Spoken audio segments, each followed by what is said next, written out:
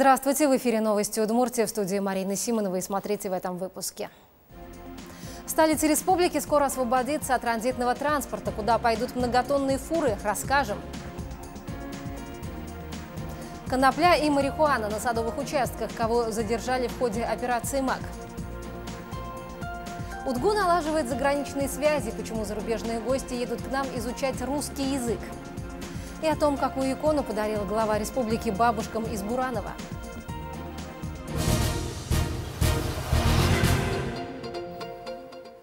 За первые 10 дней Всероссийской сельскохозяйственной переписи в Удмуртии обследовано уже больше 70 тысяч объектов. Сегодня о первых результатах переписи глава республики говорил на рабочей встрече с главами муниципальных образований. За 46 дней переписчикам необходимо опросить более 250 тысяч респондентов. Почти полтысячи сельскохозяйственных организаций самостоятельно заполнят переписные листы. Глава республики призвал глав городов и районов оказывать активное содействие Удмуртстату в проведении Всероссийской сельскохозяйственной переписи. По итогам переписи мы должны получить самую полную текущую картину о состоянии дел в агропромышленном комплексе республики, сказал Александр Соловьев. Отметим, что предварительные итоги переписи будут подведены в следующем году, окончательные в 2018. Ижевск скоро окончательно освободится от транзитного транспорта. Западный обход вокруг Ижевска стал федеральной трассой. Это 38 километров с тремя пусковыми комплексами и двумя двухуровневыми развязками, которые до этого находились в ведении республики. В результате многотонные фуры не будут больше скапливаться на Сарапульском тракте. Они, заходя в город, уйдут на федеральную трассу. От этого решения республика только выиграет, считают в региональном министерстве.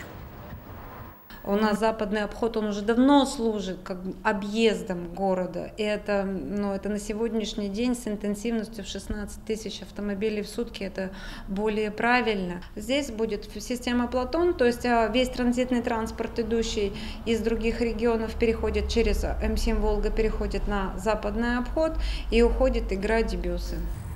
Взамен Удмуртия должна принять от федерального центра дорогу на въезде и выезде из столицы республики до нового поста ГИБДД на Ихшербодинском тракте. Это гораздо меньше, всего 12 километров. И даже учитывая этот момент, республика выигрывает и в финансовом плане.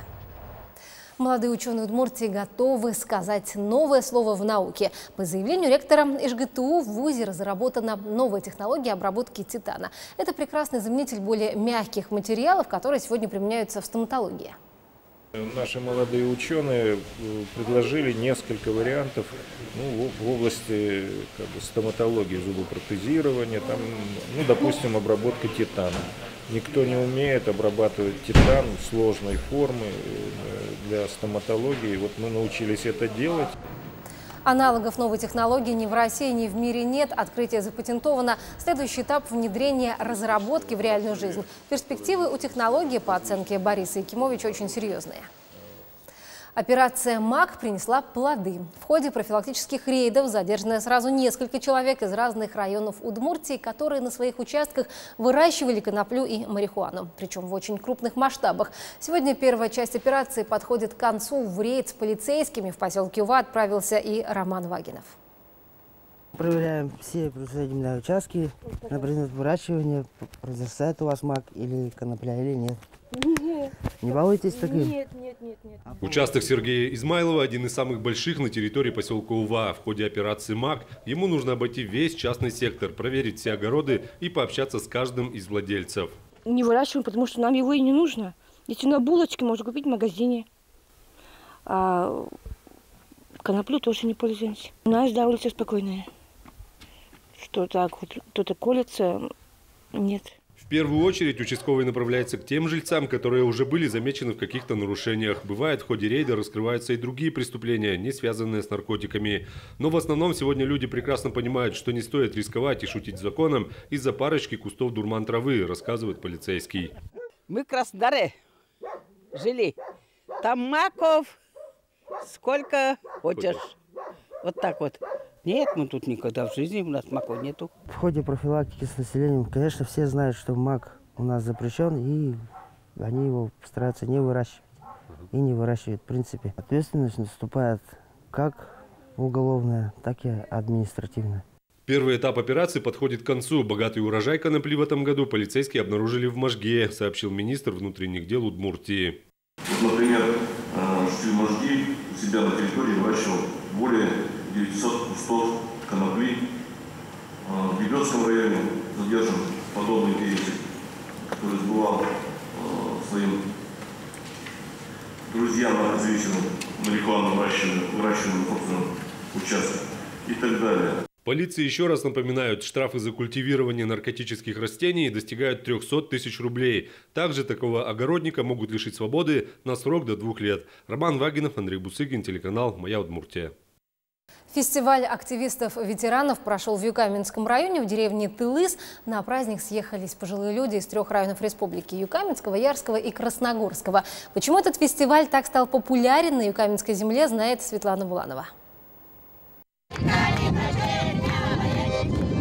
Так радушно здесь, в Тылысе, юкаменцы встречали своих гостей, соседей из Красногорского и Ярского районов. Фестиваль активистов-ветеранов сельских поселений зародился на Юкаменской земле по инициативе председателя Госсовета Удмуртии Владимира Невостроева. И такие теплые встречи стали уже традиционными. Хозяева праздника, юкаменцы, уверены, фестиваль очень сплачивает. Несмотря на то, что сейчас много работы, сенокос, ягоды и огород – но видите, сколько народу собралось, и все очень рады. Такие встречи нужны.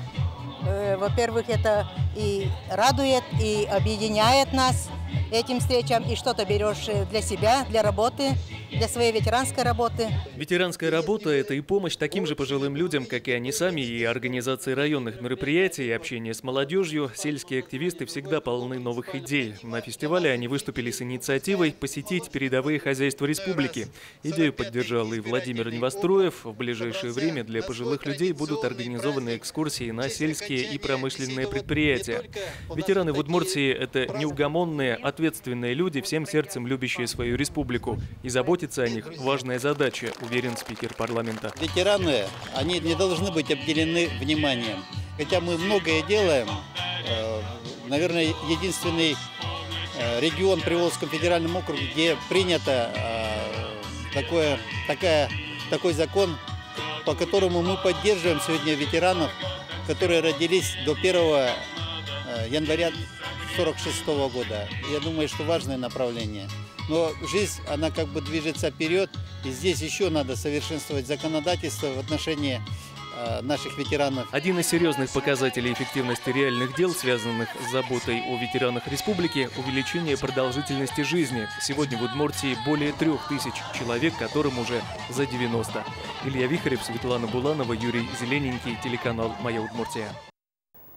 УДГУ налаживает заграничные связи. Сегодня в университете проходит 17-й международный летний курс по изучению русского языка.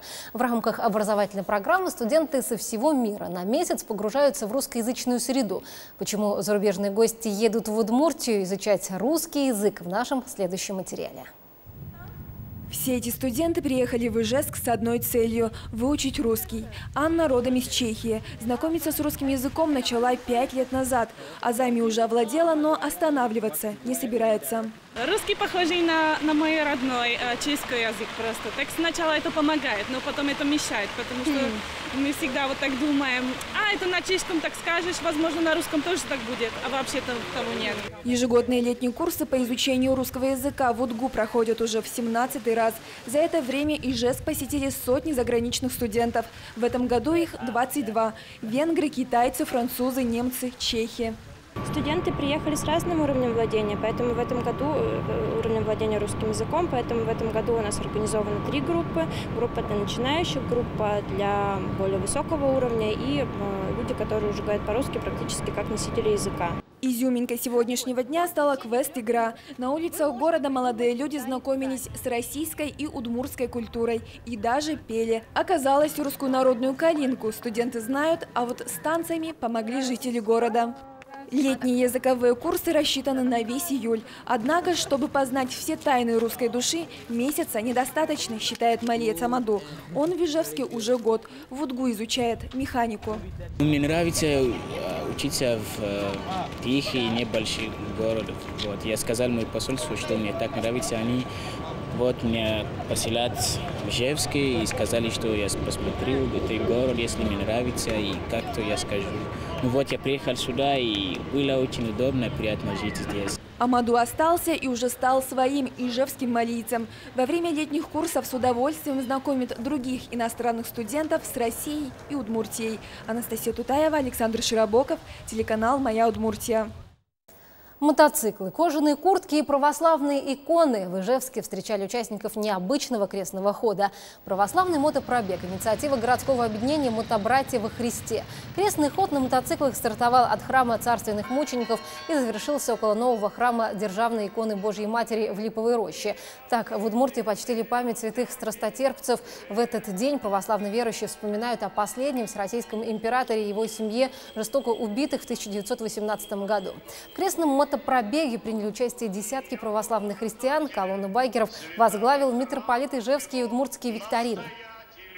Сегодня мы положили начало хорошей традиции совершения крестных ходов. Да, сегодня мы э, совершили его на мотоцикле, на мотоциклах. Возможно, что следующий год на велосипедах, а потом и пешком пойдем. А потом, как закончится божественная литургия в царственных мучениках, так выйдем и до вечера с остановками в каждом храме. Православных мотоциклистов приветствовали представители общественной организации «Православная молодежь Удмуртии». Они подготовили праздничные концерты и спектакль на христианскую тему. Тихвинскую икону Божьей Матери подарил глава Удмуртии бабушкам из Буранова. Святыня будет храниться в храме. Старинные иконы в новую церковь несут и сами жители села. О том, как бережно знаменитые пивуньи берегут историю своей малой родины, расскажет Светлана Буланова. Здравствуйте. Здравствуйте. Гостя можно? Приглашаем. Храм Бураново пока что не расписан, да и осветили его совсем недавно, 20 июня. Первый камень под святыню заложили в октябре 2011 года. Тогда возведение собора казалось нереально сложным делом, но бабушки из Буранова доказали – заветные мечты воплощаются. Оберегать и защищать знаменитых пивоний и их односельчан теперь будет Тихвинская икона Божией Матери, подаренная Александром Соловьевым. Я вам дарю эту Спасибо, икону. Господи. Пусть она служит. Тихвинская икона знаменита чудесными спасениями и ратными делами. Считается, что именно она спасла Москву от немцев в 1941 году. А за год до войны в Бураново был разрушен храм. К сожалению, не сохранилось ни одной фотографии той старинной церкви.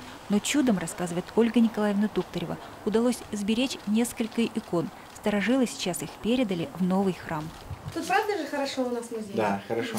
Музеем истории села руководит Алевтина Бегишева, одна из участниц фольклорного коллектива. В книге отзывов Александр Соловьев написал теплые слова благодарности за то, что бабушки так бережно хранят историю своего села. Я сегодня проехал здесь, побывал. Вы знаете, я давно уже здесь не был.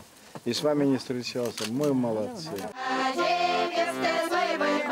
Светлана Буланова, Юрий Зеленский, телеканал «Моя Удмуртия». И на этом у меня все. Удачи и до встречи. Зимняя сказка вернулась в столицу. Несколько тысяч новых актуальных моделей из меха и кожи на выбор для ижевских модниц. В данный момент самый актуальный шуба – это, естественно, норка. Всегда женщины любили и ценили норковые шубки. Сейчас, э, пока не в сезон, они шубы в огромном ассортименте. Весь, э, весь размерный ряд, цветовая гамма. Поперечная норка и рукав три четверти – это то, что будет модно следующей зимой. Дизайнеры следят за современными трендами и новую коллекцию на фабрике отшили совсем недавно. Это роскошные шубы изнутри, теплые и благодаря современной технологии обработки легкие. Теплые мутоновые модели, изящные меховые жилеты из норки. На пике популярности в этом году Рекс – австралийский шиншилловый кролик. Ассортимент огромный. Цвет нравится и длина, и капюшон. Ну, Вообще качество хорошее. Наши вообще без дураков делают. Нормальное качество, отечественное. Сколько раз не попадал, но всегда Летняя покупка зимнего гардероба – это еще и выгодно. Сэкономить можно до половины стоимости качественной шубы, которая будет согревать и радовать не одну зиму. Здесь же на выставке можно подобрать подходящий головной убор и демисезонную одежду на любой вкус и кошелек. Это эко-кожа. Новый такой современный материал, который по некоторым э, категориям превосходит даже натуральную кожу. Возможен наличный и безналичный расчет, покупка в кредит и рассрочка платежа. Выставка «Зимняя сказка» продолжит свою работу в Ледовом дворце Ижсталь до 24 июля.